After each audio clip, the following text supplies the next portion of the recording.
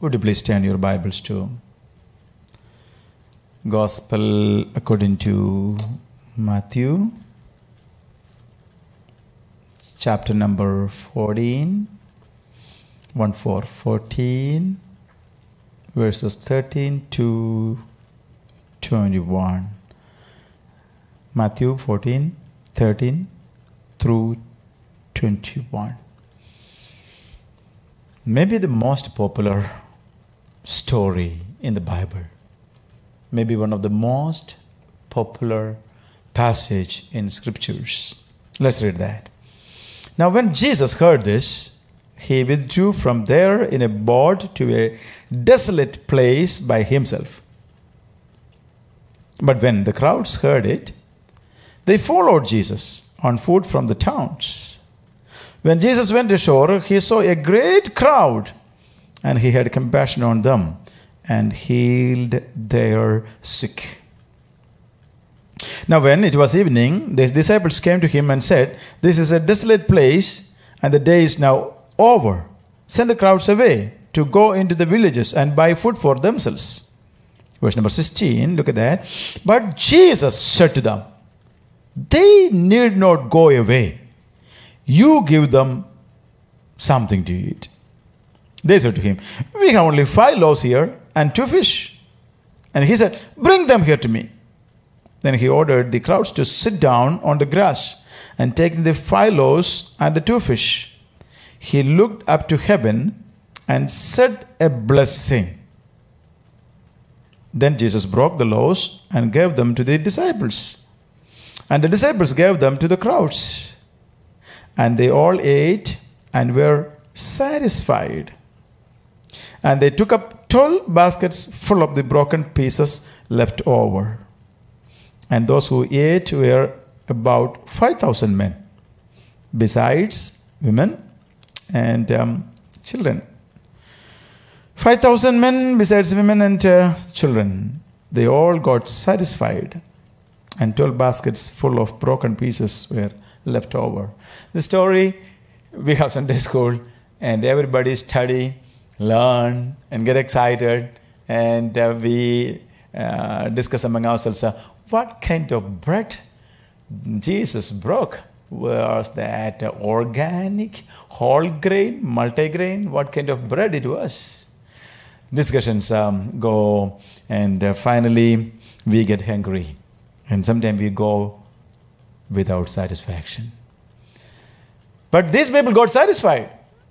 That's the beautiful thing. They all got satisfied. They ate the bread. They didn't discuss about the bread, they ate the bread. And they got satisfied.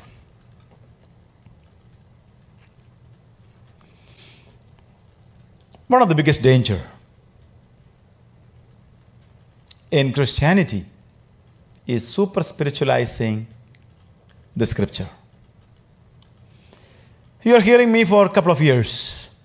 I go for the simple meaning, direct meaning. I don't bring in revelation so much.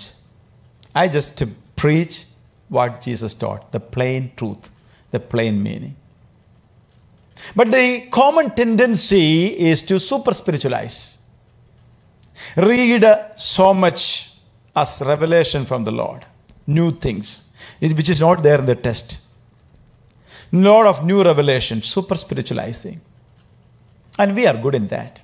We who claim to worship God in truth and spirit, we only think about truth and spirit. We forget about our body, the reality, the real world.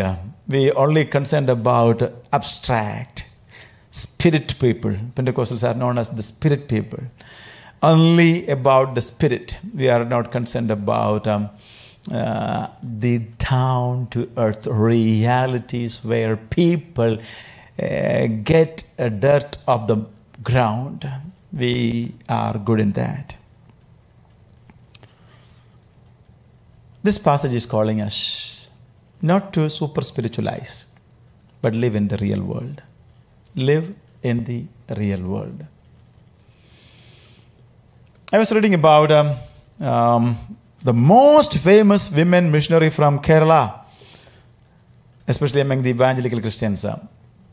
But in Kerala, she is not. She didn't become so popular, but she became popular in elsewhere. Elsewhere, elsewhere, she became popular. In Israel, she was known as the ambassador from India. And um, Washington, D.C., she addressed the Senate once. She traveled to most nations in the world. Sometimes people considered her as the best friend of Indira Gandhi. And people sent money to her care of Indira Gandhi. You know that person? She was from my place, nearby, near, near to my place, Kumbanada. Annamma Mammen. Uh, the, one of the greatest women missionaries. When she was only 16, she wrote the song Logamam Gampira Vairidhiil. Yatra ചെയ്യും ഞാൻ ക്രൂശ നോക്കി even today that is one of the classics in she wrote it when, it was, she was 16, 1930. അടവി തെരുക്കളിനിടയിൽ all those songs. She traveled with Indira Gandhi. She had a very close relationship with Indira Gandhi. And she moved from Kerala when she was only 16 to Andhra Pradesh. And she served in Andhra Pradesh all her life. I have met her a couple of times when she used to come for Kumbanad convention. And I heard her by herself singing Logamam Gambira Varidhil. Um, my, my grandfathers, uh, they, uh, my, one of my maternal grandfather, he used to go to Andhra Pradesh to work with um, uh, Pastor P.T. Chacko, uh, Annamma Mammen, and all other people. So we had a kind of connection and we used to get information about that. In her life, she said, in one of her writings, she said, feeding people is the work of Jesus. And in Andhra Pradesh, she focused on reaching out to the poor people and feeding them, the coastal belt, Ongole, and all those areas, Elur, and all those places. And by feeding, she led one young man to Christ. Feeding, giving her food, even when they were starving. And that young man became one of the most prominent scholar, theologian, teacher uh, in Andhra Pradesh. And another person became the president of the same organization where she was working. Thousands of people. Feeding people instead of just super spiritualizing. In India, if you go to any part of India or the world, um, and if you say Mother Teresa, people will know. If you speak about um, those who are asking, uh, send me thousand dollars, I will give you a certificate and you keep in your home the certificate and miracles will happen and you will become a billionaire, people may not know. There are plenty now. It, the number is not going down, the number is increasing. Uh, the other day I said, yesterday evening I said, uh, from Pathanamthitta, one man says, um, if you want to become a billionaire, you send me thousand rupees or dollar. And I will send you some prayer and you will become a billionaire. And people are giving money. Now already more than 3,000 people registered by paying this money.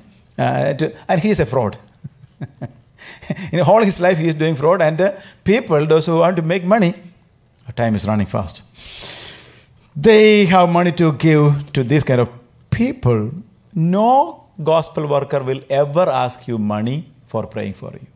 No follower of Jesus will ever ask money from you to pray for you. One clear litmus test to know the pastor, preacher is a fake pastor or a true pastor is check whether they ask money or not.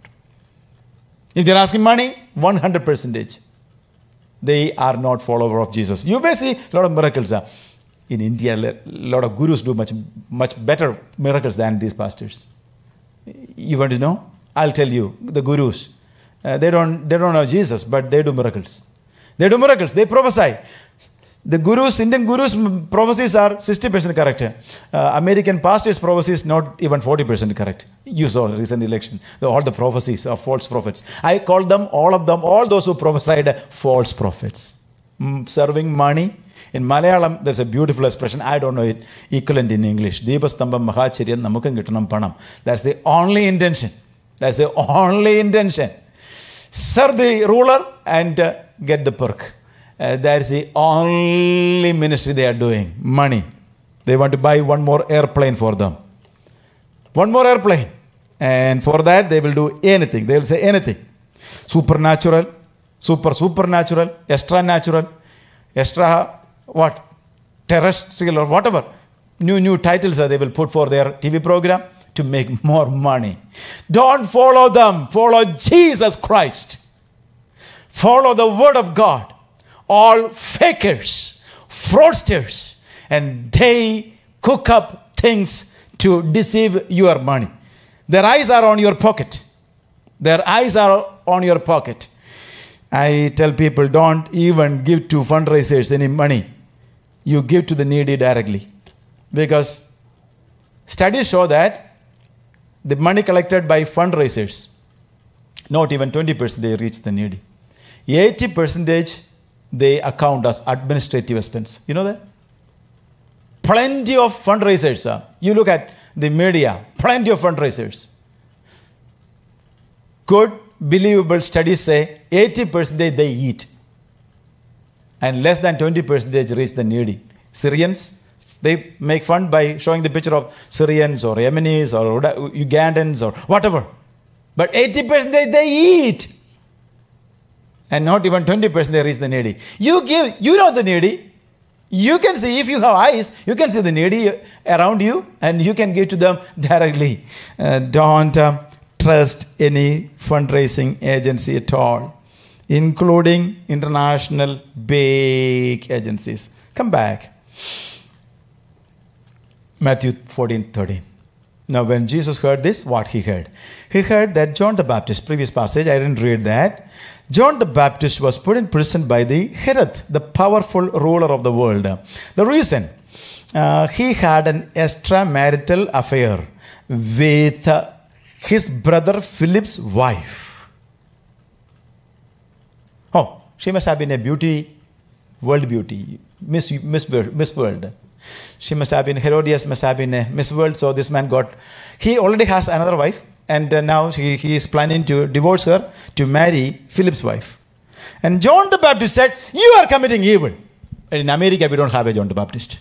They say, If it is my leader, it is okay. If it is my leader, it is okay. If it is your leader, no, that is, you cannot do it uh, in Washington. I, will, I, I hesitate to say the name of those things. Once you take stand with politics, you will whitewash the sins of your leader. Your leader. Because that heavy slavery you already took by siding with a political party.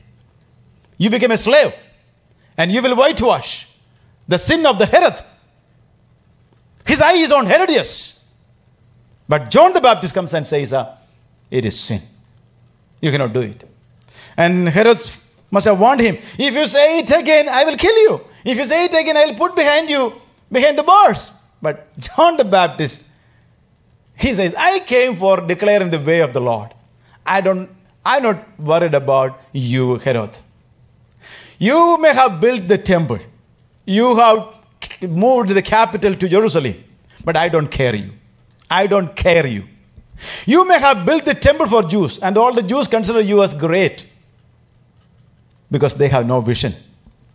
And I see the vision that you are a sinner. You are a sinner. You live in sin.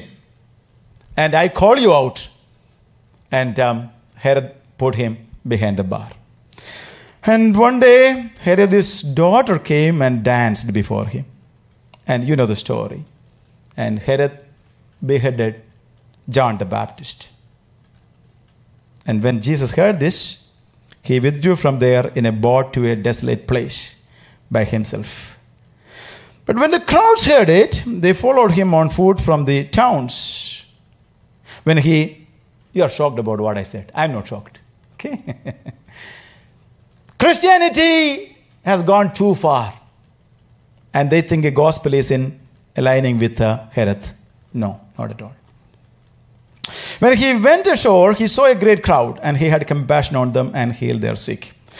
This is the only miracle in the Gospels which is recorded in all the four Gospels. You know that? All the four Gospels, uh, we have uh, this story. All the four Gospels. All the four Gospels, uh, we have this story mentioned. and especially in John, little bit explanation. John chapter 6, if you read from this feeding, Jesus goes on to say that I am the bread from heaven. I am the living bread. I am the bread from heaven. And you eat me. And unless anyone eats of me, he has no share in my kingdom. And a beautiful teaching is given. Mark is giving some more explanation where a boy is coming. Pastor Babu Cherian was saying that. A boy coming with um, five loaves and two fishes. And uh, those things, uh, if you really want to know, uh, please uh, read uh, all these passages. Matthew, in some places, Matthew explains more than Mark. In other places, Matthew is summarizing it uh, than Mark or Luke or John. So to get a clear picture, better to read all this, all the all the stories. Um, and then coming back, Jesus, he wanted some rest. He was ministering, busy. And disciples he sent out, chapter 10, he sent out, and they came back. They also needed some rest. But the crowd followed Jesus. But soon, this compassionate Jesus, the one who has compassion over them, um, he gave his time for this crowd because he is a compassionate God. Compassion comes from God, come from Jesus. He had compassion on them and he healed their sick. Was Jesus doing this work only then? No, he is doing even today. He is continuing his work. Jesus Christ is continuing his work of healing the sick even today. Our only hope is in the compassion of Jesus. Our only hope is in the compassion of Jesus. We need the compassionate eye of Jesus on us, on us, on us. Hallelujah. And if He sees you, you can be healed. Let me tell you, He heals today. He does miracles. He is not, He is not stopping any of the work He started. He says He has to do the work as far as it is the day. And He is doing that work.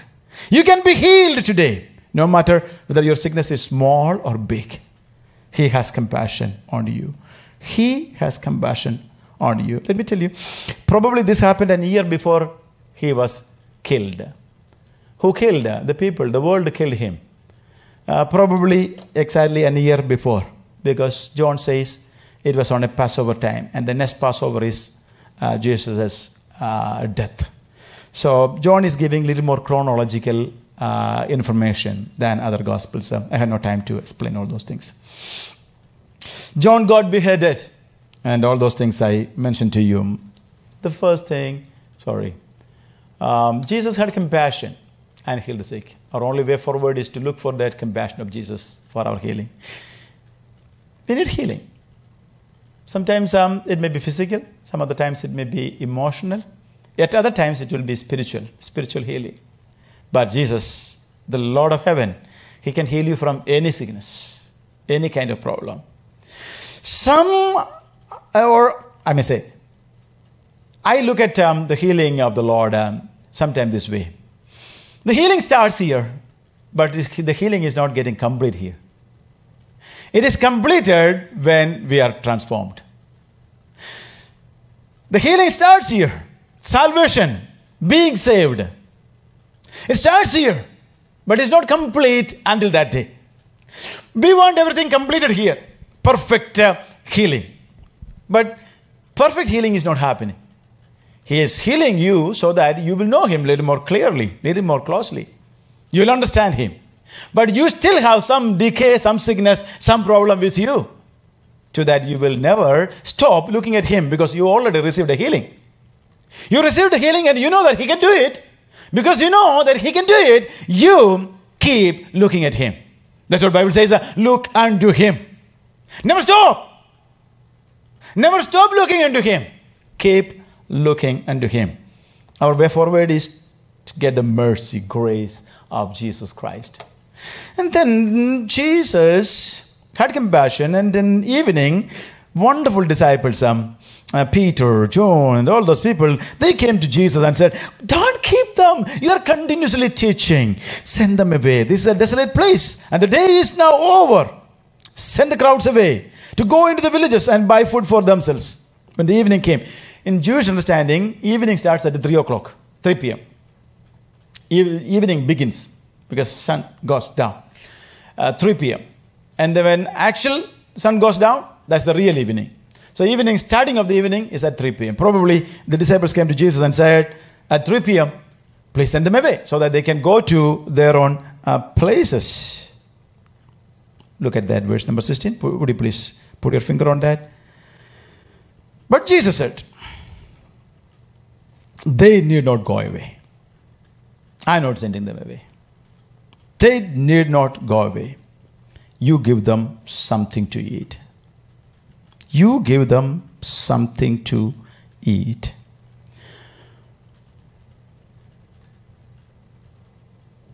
If you carefully study the life of Jesus, Jesus had a fund. And that fund was with uh, whom? Peter? Judas. Yeah. The fund was with Judas. And that fund was for serving the poor. Because John says um, when Judas went out, they thought he's going out to serve the poor. The only fund Jesus had was for serving the poor. And when we come to book of Acts, the Jerusalem council, they were discussing deeply about what kind of life those who came from non-Jewish background should continue. Four foundational things were mentioned. And the fourth foundation was always serve the poor. Paul, he had only one funding. He never funded for building a church. He had only one funding. That was for serving the poor. Paul's funding was only for serving the poor. Let me tell you, any church today or yesterday or tomorrow which does not have a fund for the poor is not the church of Jesus Christ. Be very careful. Be serious about any church that has no fund for the poor, not looking for return, never looking for return, just giving like Jesus has done, is not a church of Jesus Christ. Think about our church. We fall short of the glory of God often, but we can come back when we study the Word of God. Jesus says, Disciples, you are responsible to feed them. You are responsible. You give them something to eat. They need not go away. You give them things to eat. All the biblical scholars say that was a very clear teaching. The disciples understood. The apostles from the early period, they were serving people. They were give, feeding the people. Feeding, love feast was the real classic lifestyle of the early church. No one should go hungry. Jesus will not send you away hungry. So, apostles, uh, they didn't super spiritualize it. If Jesus told this thing to today's apostles and pastors, they'll say, Jesus, what are you saying? They are full with the spiritual food. You are talking about the spiritual kingdom, no? You're talking about the spiritual kingdom now. You fed them spiritually, so now the, you send them away. But Jesus says, uh, real bread and fish, real food, you have to give them. They need not go away. You feed them. You feed them. You give them something to eat. But those days, they said, 17. Oh, sorry, Lord. We are ready to feed them, but unfortunately, we don't have anything. We have only five loaves here and two fish. That too, Andrew stole from one little child. No, he got it. Happily, the child was given, as Pastor Babu was saying, because it is for the Lord. Five loaves and two fish. That's all we have. Nothing else. And elsewhere they said, uh, another occasion, this much money we have, but that is not enough. That's nothing. That means that the entire money they had, the fund they had, is for feeding the people, the needy people. Needy people. Church, think about the life of the church. What do you do with the, the blessings God has given you? Are we real followers of Jesus? Why our pastors and leaders are super spiritualizing things? Thank God Peter and other disciples didn't tell Jesus, Jesus, they're full, spiritual. No, they all mean the real hunger. Real hunger and real food, they are saying. The real hunger and real food. Let me tell you.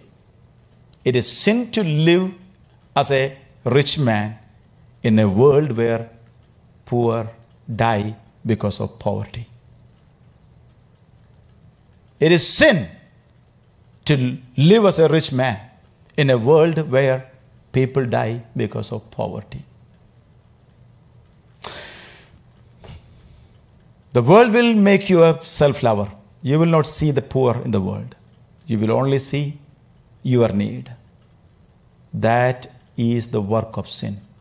How far you will be transformed in seeing the needy people and reaching out to them and sacrificially giving the five loaves and two fish you have.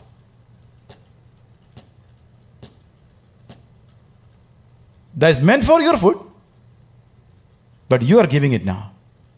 That is the influence of Jesus. If you are touched by Jesus, if you get any influence of Jesus, you will do it.